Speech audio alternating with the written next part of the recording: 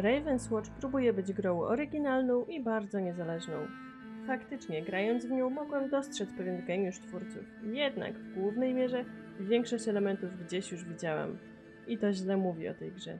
A dlaczego? Zapraszam do recenzji. Raven's Watch w zasadzie nie opowiada żadnej historii, więc w skrócie powiem o co chodzi w tej grze.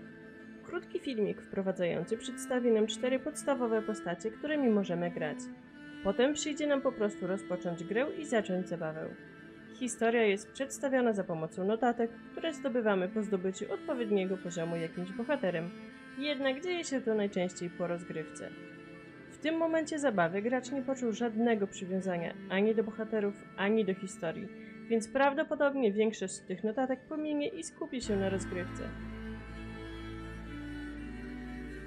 A szkoda, bo już sam świat przedstawia się bardziej niż imponująco. Mamy tutaj do czynienia z wykrzywionym obrazem bohaterów z baśni, legend oraz ich światów. Przyjdzie nam tutaj wcielić się na przykład w czerwonego kapturka, który będzie w nocy przemieniał się w wilkołaka, ale też w samego Alladyna, czy też królową śniegu, która ciągle przypomina, jaką to ona nie jest silną kobietą i wszyscy muszą się w nią liczyć. Swoją drogą jest ona jedną z najsłabszych postaci, którą grałam. Flecista i czerwony kapturek po prostu wymiatają konkurencję z planszy. Bohaterowie są skrajnie zróżnicowani i widać tutaj inspiracje grami sieciowymi typu Overwatch. Każdy bohater ma cztery zwykłe umiejętności oraz umiejętność ostateczną. Te możemy modyfikować za pomocą różnych znajdziek, niczym w starym, dobrym Hadesie i w ten sposób będziemy rozwijać naszego bohatera w trakcie zabawy. Raven's Watch posiada dosyć prosty schemat rozgrywki. Kiedy zaczniemy grę, naszym celem będzie zdobywać jak najwięcej wzmocnień i jak najbardziej rozwinąć naszą postać w ściśle określonym czasie. Zazwyczaj będziemy mieli parę dni, by jak najbardziej zwiedzić mapę i odkryć jak najwięcej jej sekretów.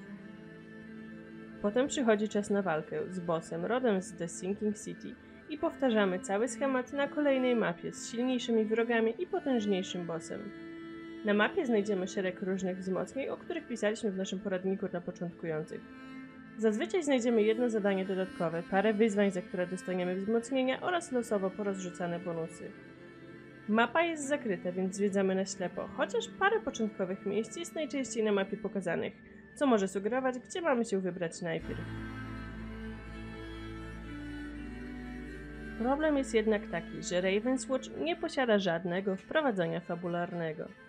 Nie tłumaczy nawet jak działa interfejs, otwiera się ekwipunek i jak podejrzeć statystyki naszych bohaterów, by poszukać jakichś sensownych synergii. Gra od razu wrzuca nas na głęboką wodę i wszystkiego musimy nauczyć się metodą prób i błędów. W typowych roguelite, jakim zresztą jest Raven's Watch, bo gra niczym szczególnym nie wyróżnia się na tle konkurencji, pierwsze podejście jest treningowe, by nauczyć nas podstaw zabawy. Tutaj będziemy zmuszeni zrobić parę podejść treningowych i za każdym kolejnym nauczymy się kolejnych mechanik, niestety w brutalniejszy sposób. Kolejnym elementem, o którym twórcy raczyli nie wspomnieć, a nawet bezpośrednio oszukują graczy, jest to, że ta gra nie nadaje się do zabawy single player. Nie wiem jak w przypadku liczby wrogów, bo podczas zwykłej gry dawałam sobie z nimi radę, to jednak podczas walki z bossami miałam spore problemy. Każdy z bossów używa najczęściej dwóch, a czasami nawet trzech nakładających się na siebie ataków. Przykładowo już pierwszy z nich będzie miał pojedyncze macki, gdzie każda z nich może nas trafić, a także sam będzie używać swoich własnych potężnych ataków obszarowych. Drugi boss natomiast ma też swoje własne ataki, non-stop rozrzuca wybuchowe krosty wokół siebie i przywołuje oczy, które będą atakować nas laserami.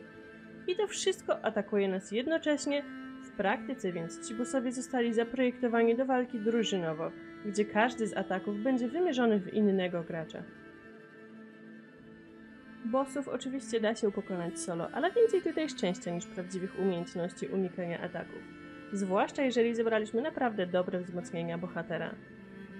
Walcząc z nimi możecie być pewni, że co drugiego ataku bossa nie będziecie w stanie uniknąć, dlatego kwestia ich pokonania zależy jedynie od przedmiotów, które posiadamy i które mogą pozwolić zmniejszyć otrzymane obrażenia lub nas uleczyć.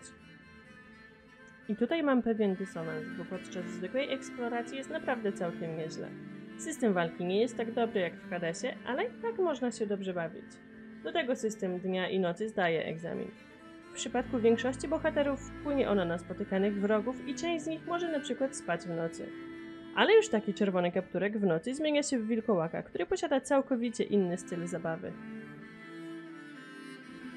Grafika w Ravenswatch jest bardzo ładna, chociaż można przysiąc, że gdzieś już się ją widziało. A widzieliście na pewno w grach od Supergiant Games. I gdybym nie sprawdziła, to bym myślała, że jest to gra właśnie od mistrzów gier niezależnych, chociaż przy okazji zastanawiałabym się, dlaczego stworzyli takiego nieprzemyślanego średniaka. To samo zresztą dotyczy muzyki i nawet dialogów bohaterów. Czuć tutaj dokładnie te same nuty co w kultowym Bastion czy też Transistor, nie wspominając już o Hadesie, ale dajmy spokój już temu ostatniemu, bo ciągle powołuję się na niego w tej recenzji. Ravenswatch to zlepek różnych mechanik i idei z innych gier, gdzie twórcy dodali parę swoich własnych autorskich pomysłów. Niestety, jest to zlepek w gruncie rzeczy źle przemyślany, na czym bardzo źle zyskała cała produkcja. Podczas swobodnej eksploracji sporo z graczy pójdzie w swoją stronę, dlatego też wyzwanie tam jest stonowane dla rozgrywki solo. Jednak ta tonacja mija całkowicie podczas walki z bossami, bez których nie przejdziesz do kolejnego etapu gry. Z drugiej jednak strony ani razu nie udało mi się wyszukać innego lobby do gry, pomimo tego, że opcja dołączania jest w grze. Tym samym więc nie mogę grać w Ravenswatch sama, bo za dużo tutaj szczęścia, a za mało planowania i umiejętności. Nie mogę też grać z losowymi graczami, bo system nie działa i nie mogę wkręcić się w ten tytuł, tak jak na przykład w Helldivers 2 czy też w Space Marine 2. Jednym zdaniem, Raven's Watch nie jest grą dla mnie i jeżeli nie masz drużyny złożonej z czterech graczy, którzy będą chcieli grać z tobą w tego średniaka, to nie jest to też gra dla ciebie. Ale jeżeli masz ziomeczków do gry, to znajdziesz masę lepszych produkcji. A szkoda, że tak się stało, bo jeżeli chodzi o sztukę, to sama rozgrywka jest wciągająca i można przy grze dobrze się bawić, nawet pomimo paru zgrzytów.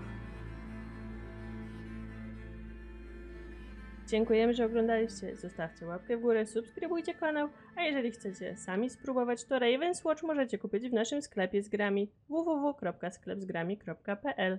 Do następnego, cześć!